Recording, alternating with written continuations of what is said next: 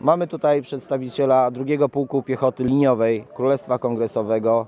Na początku powstania stare oddziały liniowe były wyposażone regulaminowo. W toku prowadzenia działań to regulaminowe wyposażenie i umundurowanie zmieniało się. Tak naprawdę walczyła piechota w ciągu większości spotkań z oddziałami carskimi.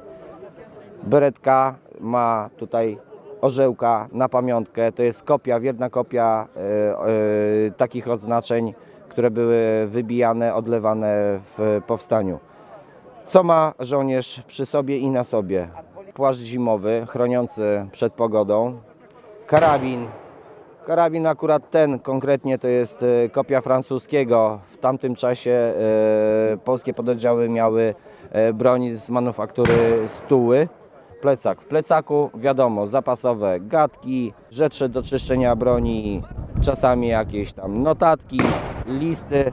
Pod spodem ładownica z zaznaczeniem drugiego pułku piechoty liniowej, kontrpas z tasakiem, z bagnetem. Wiadomo, broń była skałkowa i jeśli zdarzały się niewypały lub e, przestało krzesać, skałka połamała się, to była ostateczna rzecz do rozmowy z przeciwnikiem. Buty króciutkie, kamaszki, które, no, jak tutaj widać, warunki są niesprzyjające, dlatego były stosowane opinacze. Zapinało się wtedy bardzo często piasek, kamyki nie dostawały się do środka. Jeśli było błoto, była woda, to i tak było mokro.